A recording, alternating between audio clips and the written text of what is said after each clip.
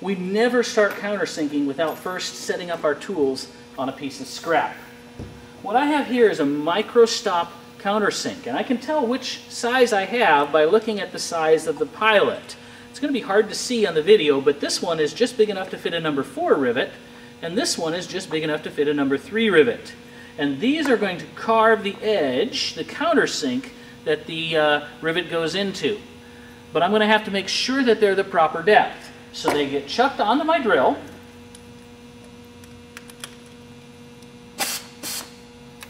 And then I hang onto them by hand and I feed that into the countersink hole.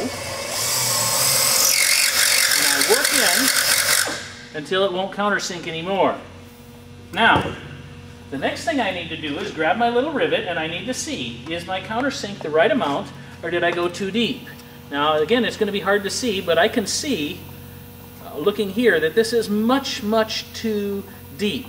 I need to make this countersink shallower. To make it shallower, I come across, I lift this up, and I screw it out. Each of these little castellations here is worth a thousandth of an inch, which is why it's called a microstop. And now I'm going to try it again, and we're going to see how my rivet looks the second time. All right, that looks a lot closer from here. We'll see how it looks when the rivet goes in.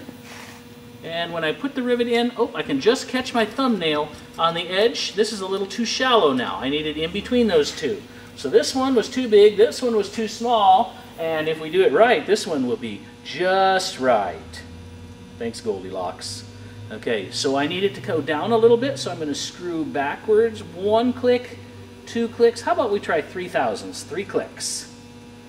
And here we are, ready for our try number three on our microstop countersink.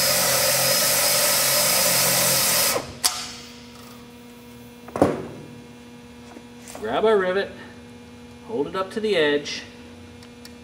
I think we can still go another uh, another click or two in. So we'll keep working on it. What we really want to do, one click, two click, there we are. We really want to make sure that it's flush because that's the whole point of a flush rivet. So Last try.